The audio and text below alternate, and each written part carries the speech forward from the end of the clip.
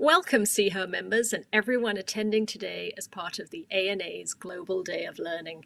It's so exciting to be here with you, 5,000 marketers from 70 countries. I'm Fiona Carter, CMO of Goldman Sachs and co-chair of See Her. At See Her, our mission is clear, to drive the accurate portrayal of women and girls in marketing and media.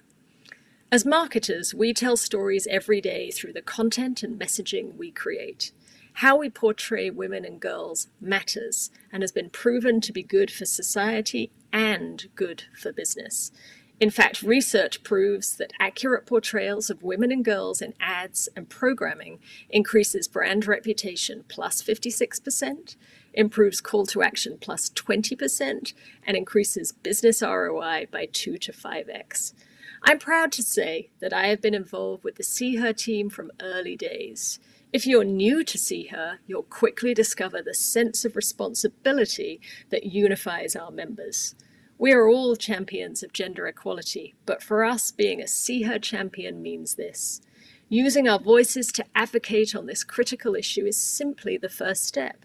Our superpower is our focus on actively working to drive meaningful change. Through our brands, our people, and our marketing, we step up, we lead the way, and we continuously seek to make positive impact. What does that impact look like at Goldman Sachs, you might ask? Well, we start with our business practices. We know from our experience in advising corporations that companies with diverse leadership perform better.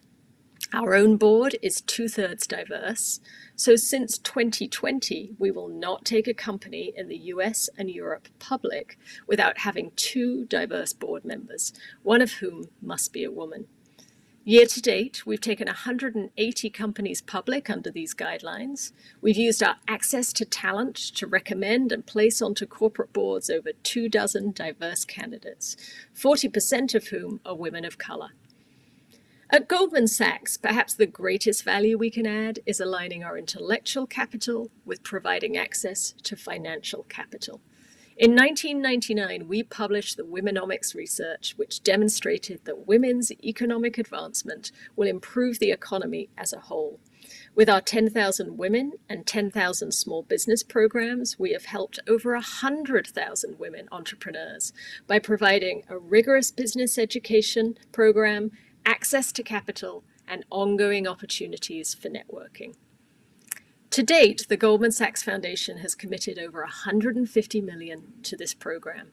And this year, we launched our 1 Million Black Women Initiative, built on the principle that narrowing the opportunity gaps for black women will in turn narrow opportunity gaps for all and drive economic progress for the country as a whole. Launched in partnership with Black women led organizations, the $10 billion commitment in direct investment capital and 10 million investment in philanthropic capital is the largest investment ever focused on uplifting Black women at every stage of their lives. Closer to home in marketing, as the first CMO at Goldman Sachs, I have made See Her a priority for our marketing teams. Our action plan is drawn from See Her's marketing toolkit and the ANA Growth Council's Society and Sustainability Agenda. Beyond the accurate portrayal of women, girls, and all people in our creative, and I am pleased to say that every ad measured this year is above the norm of 100, but we also aspire to equal representation in our media and marketing supply chain, and we plan to reset any investment inequalities in our marketing spend. First step is to draw up a scorecard. We're setting the baseline with a full audit of data, and we're working on representation goals. And we are moving to make this a systemic way of doing business. For example, we're currently running a creative pitch and have integrated these priorities as success criteria in the RFP. The only way forward is for every team member to feel responsible, and I can already see the behavior changing as we make different choices about where to spend and who to work with. Today, you will hear from my fellow See Her champions on how we're working across the global media landscape, how we're developing new approaches to reach next gen, and how we are benchmarking progress in sports and music where women are underrepresented, under celebrated, and underpaid. Borrow and steal every idea you can and take it back to your teams because this is where change starts. And when I think of change makers and champions, there is no greater of all time than Marc Pritchard, my fellow co chair, my fellow co conspirator, whose polite but determined commitment to gender equality drives us all. Marc? Thank you, Fiona. It's so inspiring to work alongside you, the See Her founders, and See Her team, and to hear about the work you're doing at Goldman Sachs and that See Her is doing around the world. As we all know, images and narratives have power. And today you'll see several examples of trailblazers who are changing images and narratives across the advertising, media, and content ecosystem. Because by bringing stories to the screen, all screens, more people can feel seen and feel less isolated. And we can change how we see ourselves, how we see each other, and how we see the world at a global and a local level. That's why we're so committed at See Her to ensure that the characters we create and the messages we convey in our ads and programming always accurately represent real people and real stories across gender, race, ethnicity, sexual orientation, gender identity, ability, religion, body type, and age. Those stories have the power to connect us and unite us, to eliminate bias, to promote equality, and to drive inclusion. We are the marketing community. We have broad reach, connecting with billions of people every day. And with that broad reach comes broad responsibility, which requires us to use our voices as a force for good and to keep learning and refining our capabilities to fulfill that obligation. That's where See Her comes in. For example, we've refined our gender equality measure, or GEM testing, to reflect multicultural inclusion to help us accurately portray people through an intersectional lens. We've expanded See Her across sports with a GEM scorecard and across music with the Accelerator program that supports the discovery and elevation of women's voices. Because sports and music are universal passion points that shape culture and shape perceptions.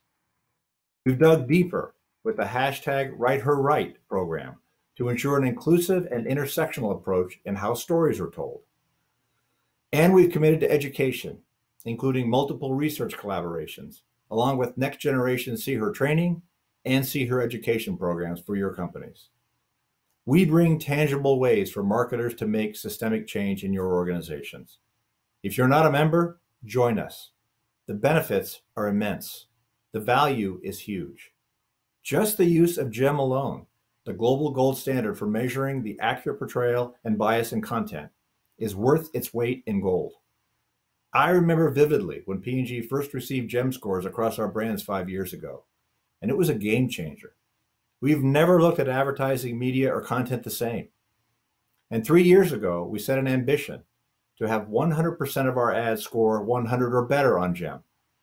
We were at 62% then, and we're now at 82%. Not where we want to be yet, but making progress. And we're not only eliminating bias, our brands are also growing sales because accurate portrayal is good for business. Now, there's one more point to consider. We need to not only see her, but to support her. With the pandemic, racial and social unrest, economic challenges, climate change, and political upheaval, the real challenges women face are escalating, and the progress that women and girls have made is at great risk. These events have negatively affected women and girls disproportionately around the world. Most recently, gender equality could be set back 200 years in Afghanistan alone, according to the Afghan Women's Network. As the leading movement for gender equality in advertising and media, it's important for See Her to have a conversation about this situation with this audience around the world and to identify how we can not only see her, but support her. To provide a compelling point of view, we invite renowned journalist, author, See Her board advisor, passionate advocate, and amazing human being, Katie Couric, to lead this important discussion. Thank you. And now, Katie, over to you. Marc, thank you so much for that kind introduction. You've been such a leader not only for women, but for humanity, I think, in every aspect. You know, we wanted to spend a little time talking with everyone who's gathered here today. We're at a critical juncture where we've seen much of the progress we've made in recent decades erode before our eyes in a variety of areas. When it comes to the pandemic, the first year of this global pandemic knocked, knocked 54 million women around the world out of the workforce. And you can only imagine the repercussions that's having in every aspect of society. The pandemic, in fact, has set back gender equality by a full generation, according to the World Economic Forum. So the pandemic is providing a backdrop for a lot of the steps back that we're seeing for women and then you look at what's happening in states like Texas. At least 80% of women seeking an abortion will no longer have access to care in Texas. It also suffers from a dire maternal mortality crisis, a critical issue that I've explored in a two part podcast in my podcast series Next Question, which I encourage you all to listen to. The US holds the highest maternal death rate in the developed world, Texas maternal mortality rate is above even the US average. Black women in Texas are disproportionately affected, accounting for 11% of live births, but 31% of maternal deaths. And of course, then we move to Afghanistan, the heartbreaking images that we all witnessed. All these girls and women left once again to at the mercy of the Taliban. In July, the UN reported the number of women and girls killed and injured in the first six months of the year nearly doubled compared to the same period the year before. And this was before the US exited. I recently had a conversation with an amazing photojournalist named Lynsey Addario about the situation in Afghanistan. She's been covering it for years.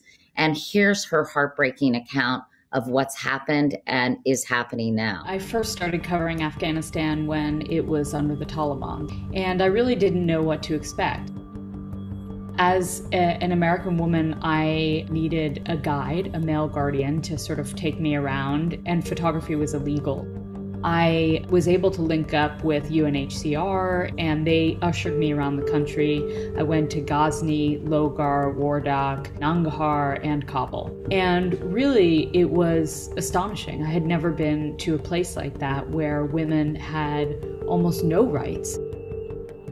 Every form of entertainment for both men and women was illegal. There was no television, no music, no films. Women and men who were not blood relatives were not allowed to meet, and it was just really oppressive. Women lived in fear that if their voices were heard while they were speaking, while walking down the streets, if they did leave the house, that they would be beaten. Many women were beaten because their burqa wasn't long enough, or they might have a strand of hair hanging out of their burqa there was sort of a silence on the streets because people were terrified always. As a woman, I was able to sort of travel around with my cameras hidden in my bag. I was able to meet with women in their homes and photograph them in secret. I was able to go into girls' schools and see girls being taught in the villages and basements and wherever any sort of brave Afghan family could hide a school inside their home. I fast forward to all the sort of subsequent trips I've made in the last 20 years where I essentially watched Afghan women blossom. And it was incredibly brave of them because Afghanistan is very conservative and and it's to great offense to some more conservative men who don't believe that women should be out there. Obviously, no one expected the Taliban to um, to come back so quickly. Um, and suddenly, all of these women who have spent the last 20 years finding their voice, defining themselves uh, as women and as Afghans, um, are terrified. They are scared to go on the streets. If you look at all of the images coming out of Afghanistan over the last two days, you have to look very hard to find one or two women out in public all they can think about is retaliation for the fact that they have been independent and they've been out and they've been working and doing all of these things that were forbidden under the Taliban. If any of you are interested, you can watch the full interview on my Instagram account. Just go to Katie Couric or go to our website at katiecouric.com where we have all kinds of content. Meanwhile, I'm really thrilled to have a conversation today with Ambassador Melanne Verveer. She is co founder of Seneca Women and executive director of Georgetown University's Institute for Women, Peace, and Security. Um, Melanne, it's always great to see you. You and I have crossed paths many, many times over the last several decades, I have to admit. Why don't you begin by telling us about your role and the kinds of things that you've done in government over the past several years? Well, Katie, it's always delightful to be with you, and it has indeed been at least a couple decades since we first became acquainted and have been working together. And I can't thank you enough uh, for all that you're doing to illuminate illuminate these issues in so many ways. But when I was named uh, the first United States ambassador for global women's issues, it was based on the recognition uh, that where women's rights are protected and where women have opportunity, those places, those nations are far more prosperous. Uh, they are far more peaceful. Uh, and indeed, the opposite of that is where women's rights are denied, where they are oppressed, uh, those are places mired in conflict, uh, mired in extremism. The well being of women is absolutely critical. The well being of women and the well being of nations goes hand in hand. So it's a matter of our own national security. You know, people said an ambassador for women, why does the United States need one? Because in the end, it is about our own national security. It's also about economic health because when you have 51.3% of the population not contributing to the economy, that can be devastating. We have a plethora of data today, both from all those multilateral institutions like the United Nations and the World Bank to the companies. The reality is that women grow economies. Uh, they spend their money differently. Women entrepreneurs in small and medium sized businesses have tremendous impacts. And we need to bear in mind how important that is. You know, sometimes as ambassador, when I would visit um, countries and meet with the leaders, uh, the leaders would say, Well, it's so lovely to have you with us, um, but I'm very busy and I have this nice young woman on my staff who will be happy to talk to you. And I would often reply, You know, sir, um, I really wish I had the opportunity to talk to you because I'd like to talk to you about how you can grow your economy. And all of a sudden, the whole conversation changed. And somehow, the role of women in growing economies is not factored in in so many understandings where they need to be.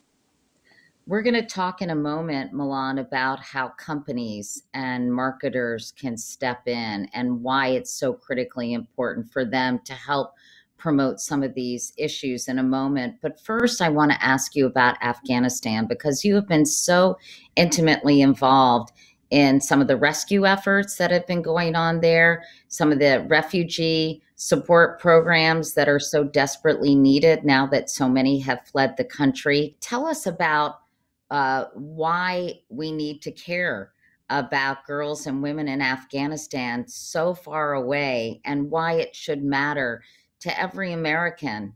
You know, Katie, I've been thinking about how present Afghanistan feels to the United States, not just with our, our soldiers uh, who have done extraordinary work at great price, uh, but also the engagement of this country and our allies around the world in trying to build a better future there. So it's not a sanctuary uh, for terrorists.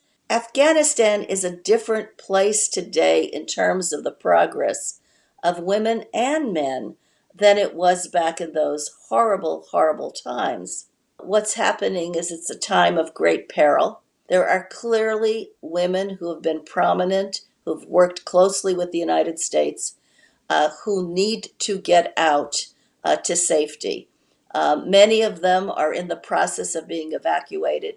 That evacuation has been extremely difficult. There have been images uh, in our news about just how difficult that's been. Uh, but there are countless more uh, who really need to, to leave with their families uh, because they may not be alive tomorrow by virtue of who they are. And then when they come uh, to the United States, as many of them uh, will, we need to be welcoming. We need to be supportive of them. Uh, we need to take the talents that they've developed and enable them to remain connected to the millions who will be left behind in Afghanistan. All of that is going to take resources to be able to support them uh, in this moment of extraordinary need. It's a moment where we have to come together again, uh, the way we've always come together. Yes, it's in our interest to ensure uh, that they are protected now uh, and that they can contribute uh, in their resettlement uh, and hope for a better day for their country. You know, we started Katie Couric Media a few years ago, understanding that companies had tremendous power to shape a conversation and to, in fact, change the world. And we collaborate with global brands to do storytelling that addresses a lot of these issues, whether it's girls and women in Afghanistan or the importance of gender equality, access to feminine hygiene products. We've worked with P&G on a number of stories. And, you know, as faith in institutions has declined steadily, companies and corporations are really starting to fill that void. And I can think of no no one more sort of on the forefront of that than than Marc Pritchard. What role do you see corporations if you read the Edelman Trust Barometer or think about the Business Roundtable? You know, employees are demanding it, consumers are demanding it. People are are expecting CEOs and marketers to care. You know, I'm so glad uh, you asked this question because when I think about some of the programming that you've done on Katie Couric Media, by putting that kind of lens, working with the companies. Uh, a lot of the work you've done with P&G, for example, it's been exceptional in in in raising awareness, and awareness leads to action. Um, you know, some years ago, my co-author and I, Kim Azzarelli, wrote a book called Fast Forward, and most of the stories in the book are about the private sector women and men in the private sector, people like Marc Pritchard, who uh, is exceptional in so many ways in his understanding um, through the efforts of P&G, for example, in We See Equal, because companies have power. Uh, and yes, it's about the bottom line, but it's also about the accompanying impact that comes with those actions. When the Sustainable Development Goals were promulgated by the United Nations, one of the goals recognizes the need to partner with corporations, the need to partner with the private sector. That would have been unheard of not that many years ago. The role of the Business Roundtable, the role of enlightened leadership within companies, the kind of path breaking, trailblazing work that companies are doing, where would we be if a lot of that weren't taking place? As the World Economic Forum has told us, it's going to take another hundred years for gender parity at the rate we're going. That's unacceptable.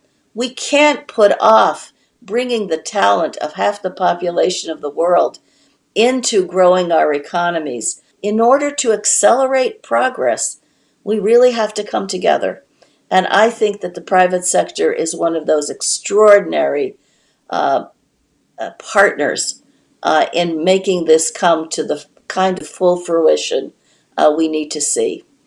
And such an untapped resource, as you said, because we've only hit the tip of the iceberg. Think of the storytelling and the issues that we could address and help people understand. You know, it saddens me as someone who's been a journalist for decades that the media ecosystem has become so bifurcated and so partisan, and it's often engagement through enragement.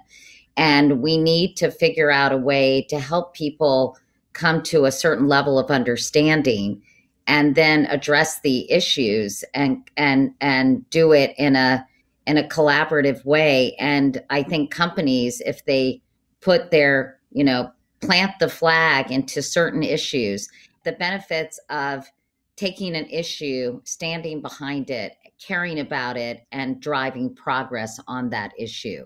And that's the kind of things I know that you're trying to do. And those are the kinds of things I know that I'm trying to do um, by helping people, helping companies see the power and in spreading understanding and spreading the right messaging and making as naive and Pollyanna ish as it sounds, the world a better place. You know, Katie, uh, you're absolutely right. And we've been doing a lot of research looking at where are those great impediments to women's progress. And really, one of the most fundamental problems uh, are norms, mindsets, biases, conscious or unconscious. Uh, those factors that see women's progress as a zero sum game. If she makes progress, I'm set back. And it's just the opposite of that. Where women progress, we all progress together. Uh, and this is where I think the kind of engagement that so many companies are involved in through their marketing to get rid of those stereotypes that are so harmful and, and to be parties to that creative and innovative way of really characterizing women to see her as she really is. Now, one of the things we set ourselves to do at, at Seneca Women, the name goes back to Seneca Falls and the right. early efforts in this country for women's rights, you know, over 150 years ago. And we're still on that road. Um, but we have a, a podcast network, and our whole goal is to amplify women's voices uh, established women, emerging women, women in the marketplace. It is to say that when these voices can be lifted up, as we all work together to lift up the voices of those women in Afghanistan who were on the front lines of change in their country, we all benefit. And it's what our world so desperately needs. Uh, and that's why I think what See Her represents is so critically important because the aggregate of the power that this community has, this is one of the big solutions that can make an incredible difference. You know, we should also mention just, and I don't want this to be a footnote, but obviously with the the reckoning we've had uh, on on social justice and and race in this country, that women of color uh, need more support because they face even greater challenges in our world, certainly in our country. And that's something that I know See Her is also really focused on as well to make sure that that population that has not had opportunities in the past has opportunities and we work toward a more just society for those women um, who have too often been left behind. You're so right, Katie. This intersectionality, understanding that when we say women, women are at different places, women are experiencing in different ways. Some are being held back far more significantly, and we need to address all of those challenges. We are all in this together. Well, that's a great way to end this. And I'm so proud to be part of See Her, to be on the board of See Her. And we not only want to see her and understand the importance of how images shape per- perception and opportunity, but we want to support her with companies that really care about these issues, that see this not only as an opportunity, but a responsibility. So, Melanne, thank you so much for this conversation. It was really interesting and important. And speaking of See Her, I am very proud to introduce the president of the organization, Jeannine Shao Collins. Good morning and welcome to the See Her Women in Sports panel. I am Stephanie McMahon, Chief Brand Officer of WWE.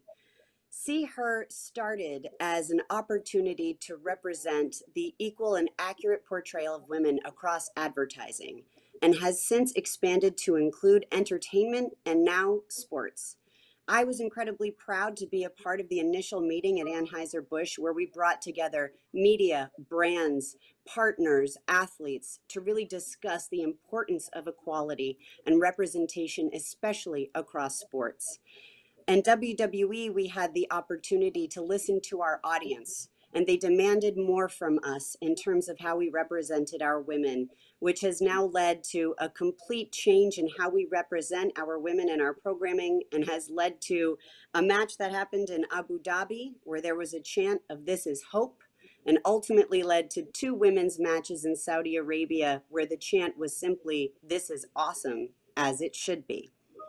That being said, Within the past year, there has been a 30% increase in social conversation about women's sports leagues. Female focused sports ads are perceived as 148% more empowering than sports ads with men. And when the ad stars a female athlete as opposed to a male, it even increases the likelihood that that man will buy the product. Yet, a study from Purdue in 2019 showed that coverage of female athletes on television news and highlight shows, thinks top 10 sports reels, top 10 moments, is only 5.4%. 5.4%, which is obviously way too low. That needs to be 50% or greater, in my opinion. There's still so much further we have to go to achieve our collective mission. So, with that, allow me to please introduce our esteemed panel. First, we have Janet Fletcher, Senior Brand Director Olympics and Sports Marketing from P&G.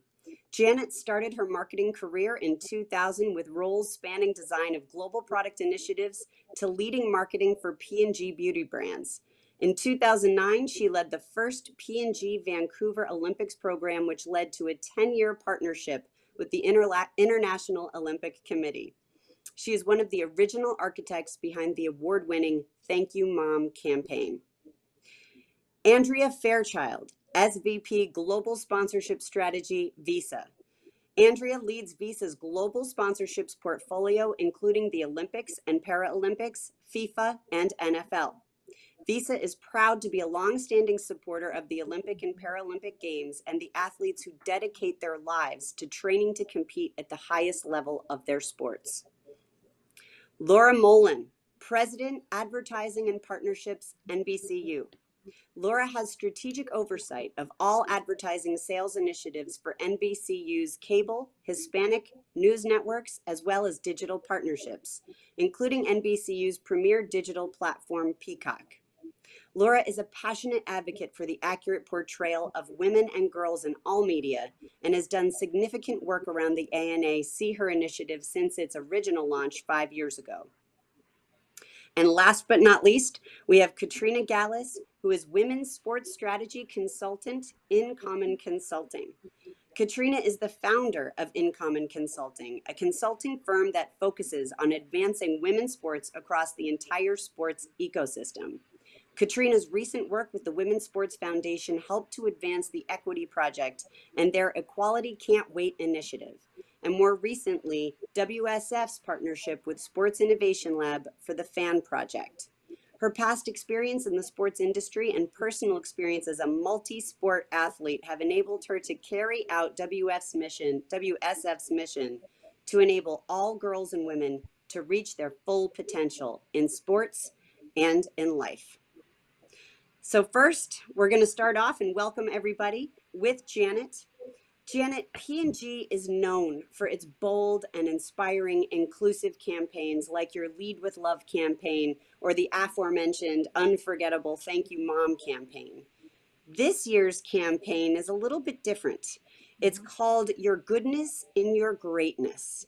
Before I ask you about the strategy and the slight pivot with this, let's take a look. Your whole life, you've done things I could have never imagined doing. Things almost no one in the world can do. But I'm proud of you for something else.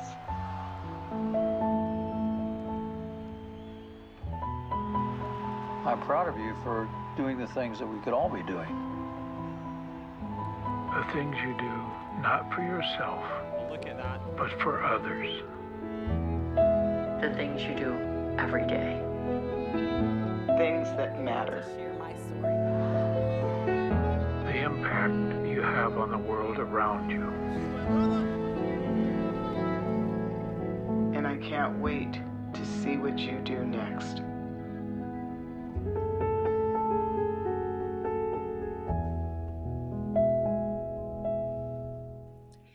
Janet why is this such an important mission to share with with during the Olympics with the audience? Why did you make this pivot?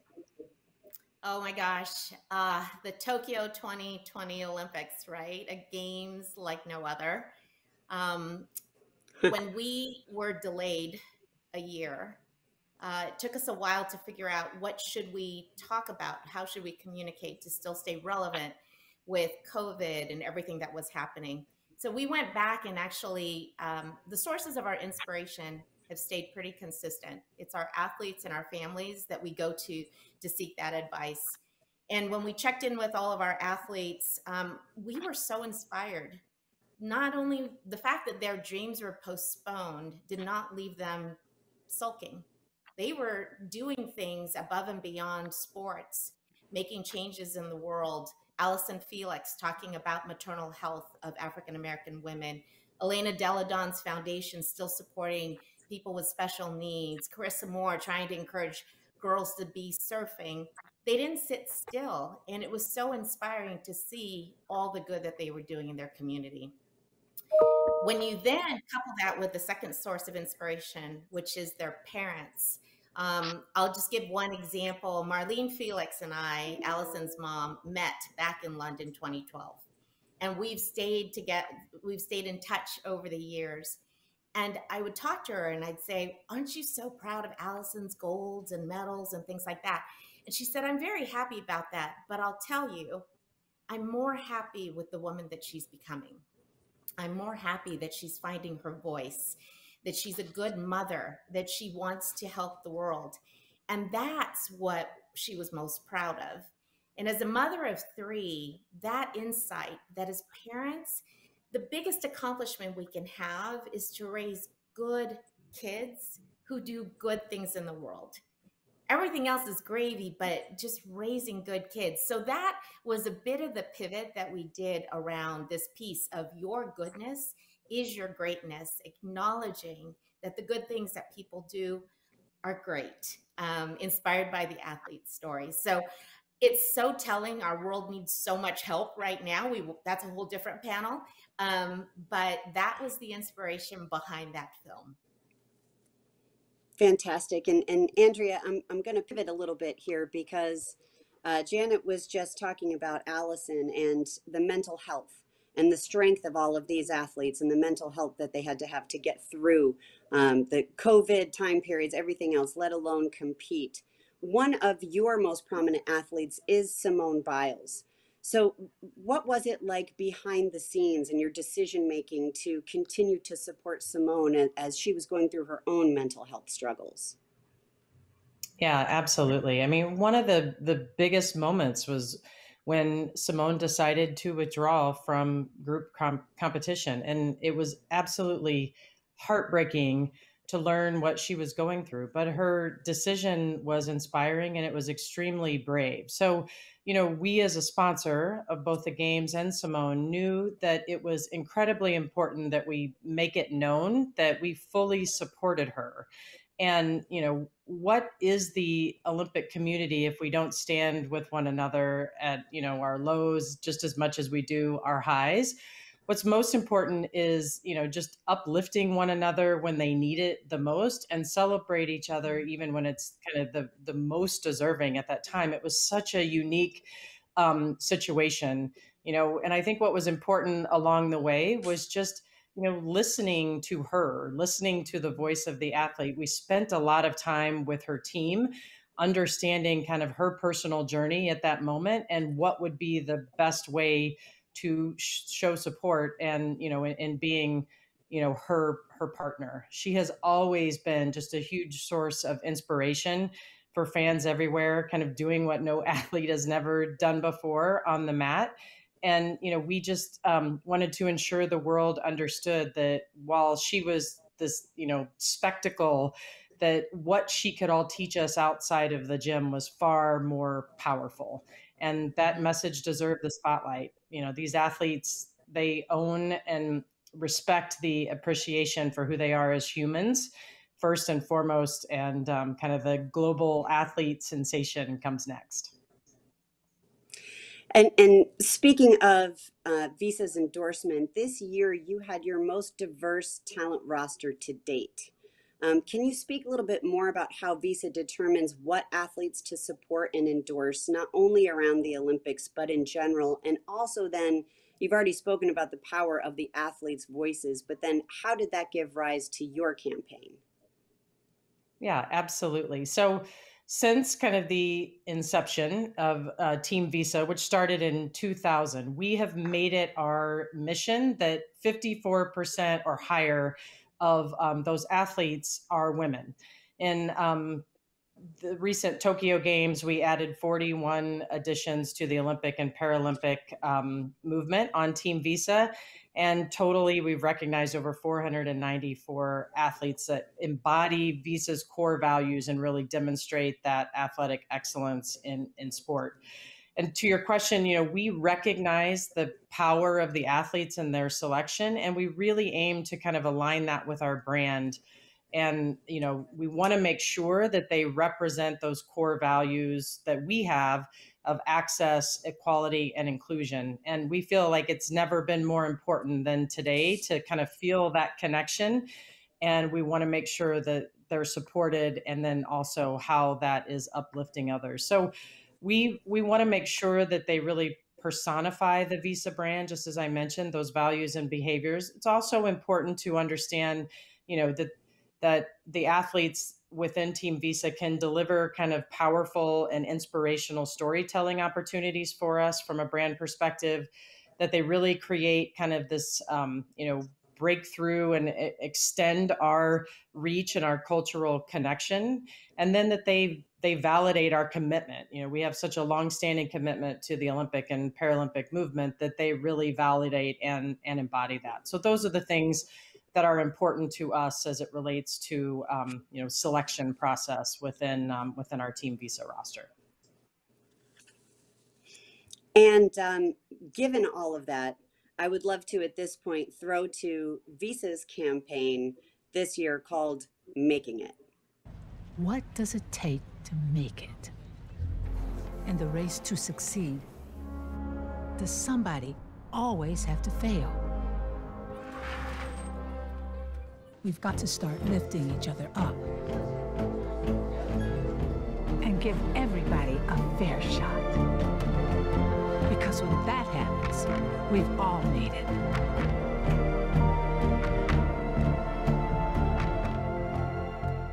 These campaigns are so incredibly powerful. It's it's hard not to react emotionally when you see them. Such critical messaging. So grateful to all of you for that. Um, Katrina, I'm, I'm actually going to throw to you now for some of the stats to really back up you know the power of brands supporting athletes supporting equality and diversity across all of these different platforms. So you've been instrumental in the women's sports foundation's equity project the sports innovation labs the fan project and both studies have published really impactful data demonstrating the opportunity to invest and grow women's sports uh, we actually understand there's been a growth of over 12 times in fans of women's sports by engaging athlete driven media across all different platforms in the past five years. So, can you speak a little bit more to those statistics and for those listening and watching, why it is so important and how it does help grow not only all of us as human beings, but of course, our businesses? Yes, definitely. And Stephanie, you mentioned a lot of great statistics up off the top here. And I think that uh, I'm definitely a, a, stakeholder, as we all are, in the FAN project, the Equity Project, and all the other amazing research that's being done across the industry. And so I'd just like to acknowledge all of the entities that are prioritizing that and actually wanting to learn more to advance this industry. I'd love to touch quickly on four different components of the women's sports ecosystem. So, first of all, female athletes. So, recently at Tokyo 2020, we saw Team USA actually the the medals um, were were won by um, a majority of women. So 58% of those 113 medals were won by women, which is quite amazing. And uh, just I know there's a lot of international people listening in today, and so I also wanted to uh, acknowledge that for Team Canada, was actually a little bit higher at 75%. And so this is definitely a trend to watch around the world, and I think it, those percentages are only going to grow. When we look at female fans, Nielsen did an amazing report back in 2018 um, pointing towards the fact that 84% of sport fans, and now more than half of those were actually men, are interested in women's sports. And so implications of that are, um, you know, we're seeing Just Women's Sports invest in different navigational tools for fans to tune in more quickly. Uh, CONCACAF W is building out a whole community around their women's soccer um, events. It, it's definitely um, being acknowledged that people want to watch these events. Uh, with regards to women's sports in general, the Women's Sports Foundation's Chasing Equity project looked a little bit further into Title IX, and and the knowledge and compliance uh, still remains low across the NCAA, just under 90% actually. So there's still room for improvement there, especially as we approach the 50th anniversary of Title IX. And then finally, women in sports. So that's both leaders, as all of us are on the call today, listening in as well, and then participants, people who who are active uh, in their daily life. And so, looking at the IOC gender portrayal guidelines, this is a key resource that's being created um, to help organizations really be intentional about the decision making uh, that they are that they're that they're doing around women's sports and their investments in it. And then from particip- participation standpoint, Project Play has done extensive research on youth sports and a safe return to sport. So a lot of key data to to help us along the way. And, and speaking of data, Laura, um, coming to you now, NBCU has longtime supporter of See Her. We've seen many different representations of that across the Olympics and all other forms of media. Can you share any key highlights and learnings out of this year's Olympics in particular, and of course the Paralympics? Sure. Thank you so much. Uh, so much of what Katrina, Janet, and Andrea shared is what we are seeing the stories of the women, uh, the journey that they're taking. And we're seeing other women celebrating these female athletes over two thirds of the social conversation on Facebook was women celebrating the female athletes. And uh, seven of the top 10 athletes talked the most about were the female athletes. We dedicated almost 60% of our hours um, in, in Tokyo to female sports. And we see even more of that in the in the future. The fans are so passionate and their stories are ones that people can just gather around celebrate and really cheer on these these athletes. And as katrina mentioned uh, six the women won 58% of the medals 66 medals which would have placed the the us women alone as the fourth largest country to win medals so, uh, female sports, she mentions, and Katrina mentioned NCAA.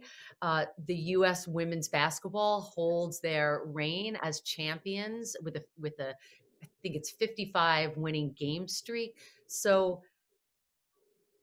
our we see our fans they want to celebrate they're cheering on they're talking about it on social watching across all platforms and the stories really just keep them so motivated to focus on these fans on these athletes.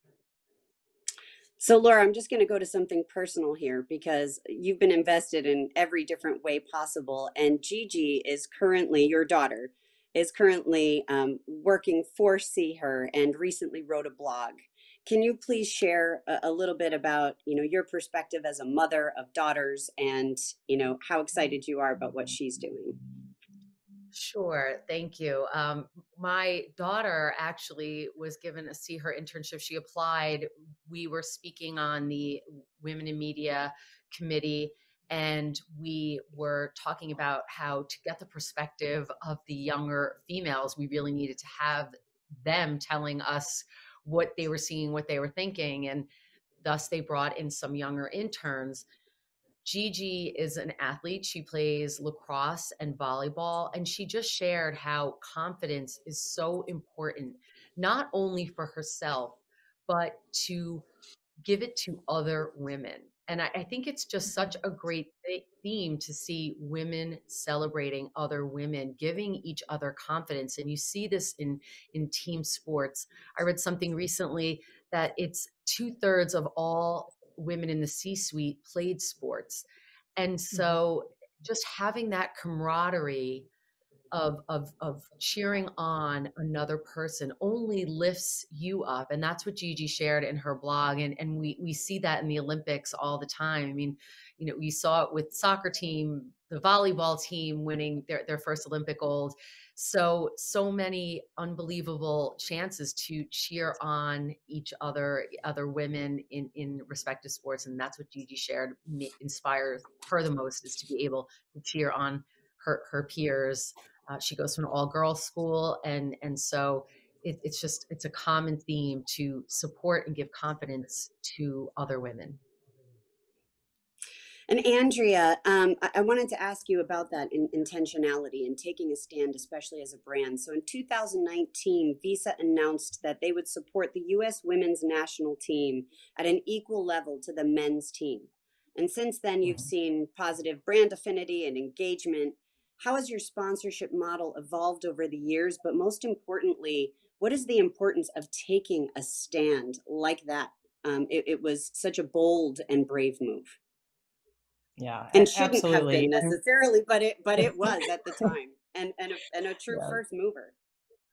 Yes, absolutely. But I think that's what you know. It it it was such a positive impact, right? And I'm so proud of um, you know of, of, being able to to do that. As you mentioned in 2019, you know we we did we made that commitment to elevate our sponsorships, and that was also part of the transformation, and you know and move forward as a brand that's kind of shifting that paradigm of overall gender inequality in sports and really beyond. And you know we also made the commitment that a significant portion of Visa's marketing spend is now intentionally focused on amplifying the message of gender equality, investing in women's athletes through team and individual support on and off the field.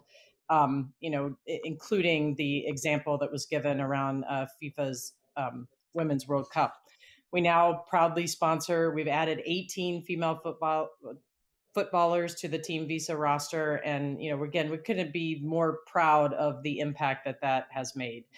With that said, you know, Visa has always stood for really making a transformational impact. That's what has, you know, the, the brand has always stood for. And it's not about simply putting your logo up on venues anymore. It's really about supporting local communities how you're empowering others, empowering small business owners for us, and advancing opportunities for those underrepresented underrepresented groups.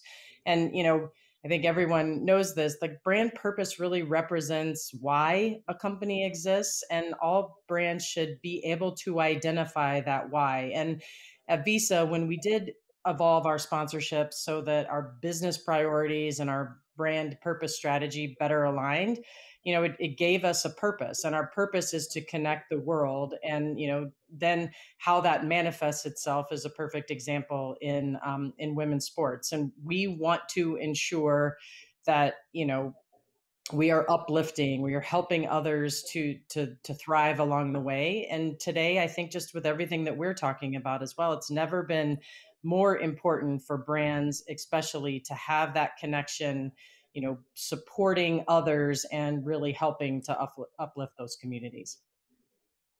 I love it. And uh, to bring us home i'm coming back to you janet um, especially mm-hmm. around p&g's most recent campaign. Here we have a panel of all women uh, supporting this incredible movement. And i think you, you've heard from all of us but i think we need to watch this this video this campaign that's entitled just watch me Will you watch me? Will you fill up the bleachers? Show up and watch me?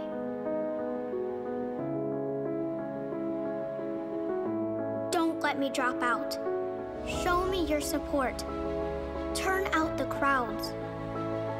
Watch me today so I know there's a place for me tomorrow. Just watch me. Janet, can you please quickly share a, a, little bit of the strategy behind this and, and, and really bring this panel home?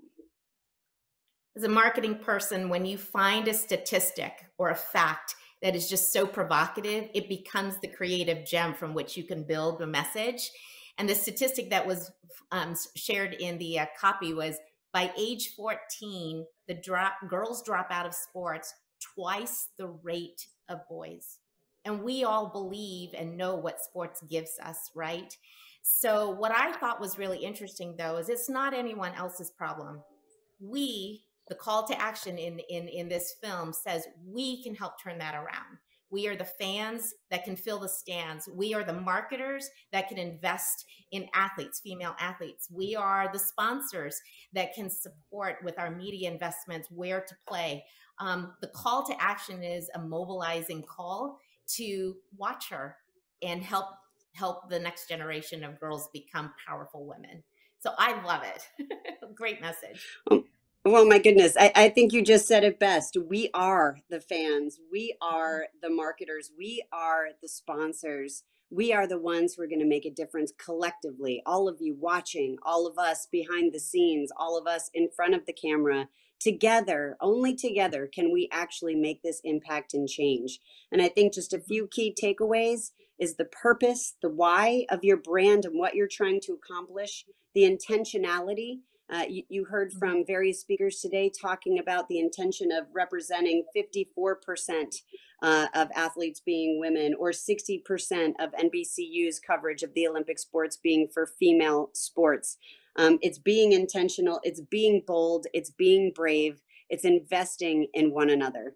Uh, so thank you very much for watching today. Um, you can go to seeher.com to learn more. And now we're looking forward to Chris Guilfoyle, the EVP of membership. Hi, uh, Jeannine Shao Collins, president of See Her. Um, welcome, everybody, from the Global Day of Learning. I hope you enjoyed that peek into the See Her member meeting. Uh, to get the full member meeting, please go to the Global Day of Learning's on demand portion, and you'll see Telemundo, TikTok, See Her, Hear Her, our music task force, and so much more amazing content.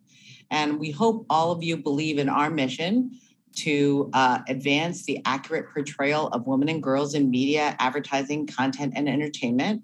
And if so, please go to see her uh, to get more information and potentially join.